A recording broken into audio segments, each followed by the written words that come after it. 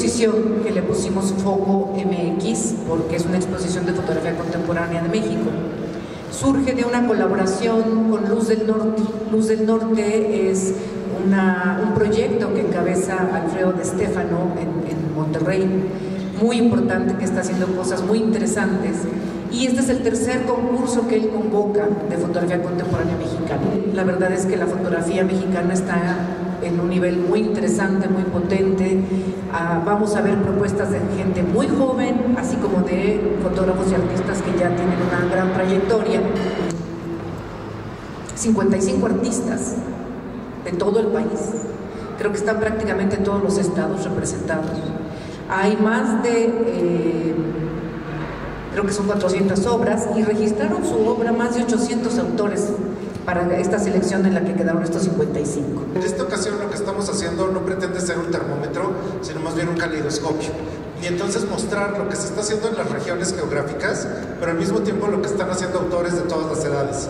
Hay de, de siempre, de autores fotográficos que nos han acompañado, como Lourdes Almeida, Pedro Sontemoc, y hay muchachos que son totalmente del siglo XXI porque apenas están cumpliendo los 18 años. Entonces, en ese sentido, tenemos una visión que no solo son los territorios del país, sino también son las generaciones que están haciendo imagen en el país, e inclusive contrapuesto cómo se hacía imagen antes, cómo se hacía foto antes y cómo se hace imagen ahora.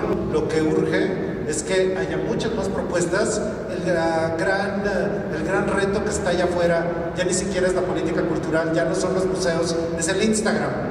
Y entonces, en esto de Instagram, este es un territorio donde de verdad no es el criterio de los jurados, no es el criterio del FONCA, es el criterio de los miles de personas que te comparten y te hacen ser un creador sobresaliente en el mundo digital de las imágenes de hoy.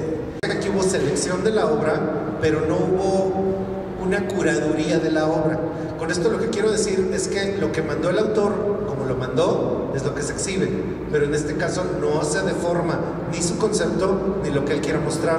Esta es una exposición de autores. Entonces es como ellos deseen hacerlo y lo que van ustedes a juzgar y lo que el público va a ver y lo que el público va a compartir son la visión autoral de fotógrafos.